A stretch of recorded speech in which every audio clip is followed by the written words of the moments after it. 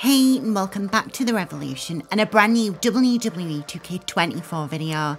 Last week I had the awesome opportunity to play an early build of WWE 2K24 thanks to 2K UK and WWE Games, so I thought why not share my first impressions on the game before the game launches next month. To be sure you don't miss out on any of our upcoming WWE 2K24 content, hit that bell icon and subscribe to the channel. You can also head on over to our official website www.revelleution.com. Before we dive in, I do want to stress that the build we played was an early build of the game with only a handful of superstars, match types and modes available to play. It's not guaranteed, but multiple factors could be addressed between the build we played and launch, so bear that in mind when it comes to initial takes and content. As a quick example, one of the devs explained to us that one of the match types we played had already received an update to its AI playstyle after vigorous testing. The theming of this year's title is 40 years of WrestleMania, and as part of the build, we had access to this year's showcase mod titled Showcase of the Immortals, documenting various matches throughout WrestleMania's history. In total, there were three matches to choose from, and seeing as we focus on the women on this channel, our match of choice was Rhea Ripley versus Charlotte Flair from WrestleMania 39. 2K Slingshot technology once again returns, blending gameplay cutscenes with WWE Network content.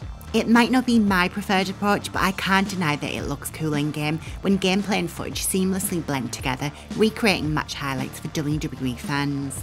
WWE 2K24 perfectly recreates the tense action between Charlotte and Rhea in a reenactment of their SmackDown Women's Championship match at last year's WrestleMania. The matchup also provides alternate models for both Ripley and Flair, and I personally think both women look absolutely awesome, especially Charlotte's model, and I only hope that the remaining women's showcase models look just as good. Now, call me old fashioned, but I would much prefer seeing or playing the moments out in game myself, as realistically speaking, if I wanted to watch the match, I could easily pop onto YouTube or the WWE network and watch the match myself. Now, obviously, some of the match situations are harder to recreate than others, but I often find that the real footage takes me out of the game and I'm often waiting for the clip to end so I can play again. As I say, that's just my personal preference, but let me know in the comments down below what your thoughts are on the situation, as I'm intrigued to hear what you think. The showcase also provides a first look at WWE official Jessica Carr, who makes her 2K debut alongside Aja Smith. It seems as though referees have not only received a much needed makeover, but they also have a few different animations, with referees attempting to count much quicker with more fluid animations. Hopefully in the coming weeks we get a closer look at creator referee and special guest referee as that's one mode I really can't wait to dive into. One of the major features of this year's game is returning match types with ambulance matches, casket matches and special guest referee matches all returning to the series. In the build we played, we had access to the ambulance match, giving fans a new way to play and have fun in the 2K engine. Like various other extreme match types in the series, players have access to weapons both under and around the ring to beat down their opponent, with the ambulance itself acting as both a weapon and a brand new match mechanic. The ambulance match can be used in various arenas, with competitors starting inside the ring before the action spills to the outside for an all out brawl beside the emergency vehicle. To win the ambulance match, opponents duke out in a bid to send their opponents home in an ambulance via a button mashing minigame, which is executed once a superstar has been dragged, Irish whipped, thrown, or even powerbombed inside the ambulance. Once one superstar is inside the ambulance, their opponent has the option to attempt to close the ambulance doors, which activates a button mashing minigame, with opponents competing to fill their side of the meter. Should the superstar inside the ambulance lose the first button mashing minigame, a second round begins with a slight advantage boost to the down superstar, repeating until one superstar prevails over the other. To gain a better chance of finishing the match, superstars can beat down their opponents in various ways, with badly damaged superstars being easier to put away than those with more health. This can be done in various ways, such as standard wrestling actions, by using weapons, or even competing on top of the ambulance. Once on top of the ambulance, players can perform actions such as grapples and finishing moves, as well as throwing opponents off the top of the vehicle to the floor below. We didn't have access to the options in our build, but I seriously hope we can add tables to ambulance matches because it would be so much fun to see one superstar thrown down through a table before being sent packing with an ambulance.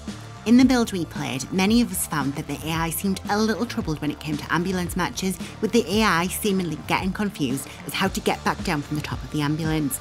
But after speaking to one of the devs, we were reassured that this has already been addressed and the AI is in much better working condition. I have to say I had quite a cool time with the ambulance match, and I can only imagine how much more fun it'll be when we get to play against friends and family once the game releases.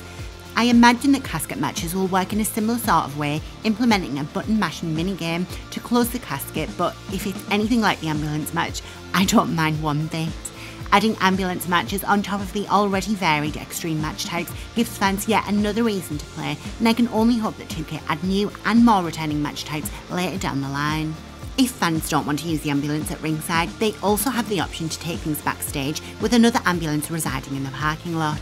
This gives players more opportunities to deal extra damage with various weapons and environmental situations before putting their opponent away. Speaking of backstage, in our build we had the ability to face off backstage with more players than in previous years, thanks to the ability to compete in one-on-one, a triple threat or fatal four-way backstage brawls. The setup for Backstage is pretty much the same as last year, with new weapons and environmental situations, as well as the Backstage ambulance previously mentioned. Like back in the day, players can now also interact with several pieces backstage, with the ability to smash windows, use vending machines, and even use a brand new elevator. While the elevator is nothing groundbreaking, it does speed things up when you want to switch the action to somewhere new, letting players take weapons and opponents up or down a level.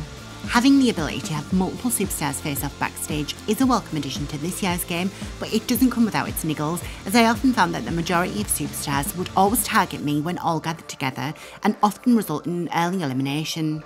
When you are separated into little pockets, that's where the real fun begins, as opponents battle it out to see who can knock out their rival. Sometimes, if you're unlucky, a rival will come flying completely out of nowhere to interrupt the action, or if you're super unlucky, it could be a weapon. Hellish as it may be in the moment, it never fails to be hilarious, creating some random laugh out loud moments. Speaking of weapons, the old fan favourites once again return alongside some new tools including a microphone, a water bottle, and a damn chancla, which is a preset favourite for our very own Zelina Vega. The chancla comes with its own taunts and hilarious sound effects to easily bat off your opponents, or if you're Becky Lynch, a slap to the back of the head.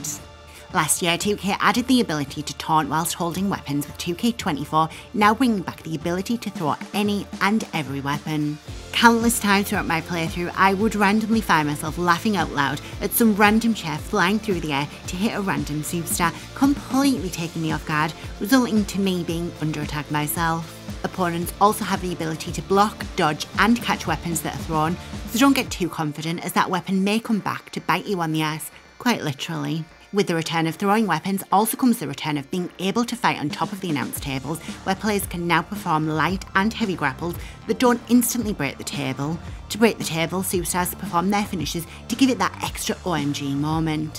When on top of the table, players can be dragged or thrown back down by their opponent, but before they get the opportunity, players can perform various dive actions to fend them off. Speaking of returning features, it was also teased that OMG moments will once again return to the series, and whilst I didn't come across any in the build I played, I did get the chance to play around with 2K's newest feature, Super Finishes. Super Finishes can be performed when players have earned three finisher slots with their chosen superstar and can be performed from various situations, giving a new spin on a superstar's finisher. Players like Rhea Ripley, Bayley, and Becky Lynch had new Avalanche versions of their finishes, while some superstars like Bianca and Zelina had diving finishes, with Zelina having an epic code red and Bianca a 450 splash. When the finishes are performed, they result in a devastating blow to the opponent, resulting in a super quick and tiny pinning bar, which is almost impossible to break out of. I honestly think that this year's game has a great balance of elements you could use simulation, with nice arcade elements like throwing weapons and super finishes to spice up the gameplay. Another new feature in this year's game is the Trading Blows minigame, which is activated when holding the light strike button. Once initiated, superstars duke it out blow for blow in a strike meter similar to the minigames in previous titles, with players attempting to stop the dial in the green segment of the meter to perform a successful action. Failing to perform a successful action three times in the minigame will end the sequence, resulting in the winning superstar gaining the upper hand. If both continue to make successful actions throughout the minigame, the superstars will then enter a button mash to fill the stun meter, with the player who fills the bar first being the winner of the minigame. I will say I quite enjoyed the Trading Blows minigame and often found myself initiating the game either at the start of every match or when I wanted the WWE Universe to get into the match. Small changes like these might not seem huge on their own, but when you add them all together, they create such a better gameplay experience, making WWE 2K24 fresh, fun, and exciting to play, whilst also adding elements you might see on WWE TV. For example, one element the team added this year is a new Irish whip reversal, which might seem tiny on the scale, but it creates such a better flow to the matches and really takes you off guard when an opponent reverses an Irish whip. 2K have also seemingly added a new pin approach in this year's game, which makes pinning look and feel more fluid when attempting a pin, with superstars seemingly no longer stumbling or making awkward gestures when you attempt to pin your opponent. The same can also be said when it comes to rebounds off the ropes, as gone are the days of bumping into opponents with the ability to perform moves and strikes when the chosen button is pressed earlier. I will say it time and time and time and again, on their own, these things are somewhat small on the scale, but altogether, they create such a better flow of gameplay, and I can't wait to uncover more with later builds of the game. If WWE 2K24 releases with as much promise as this build left me with, I honestly think that we could be onto another great year for the 2K series.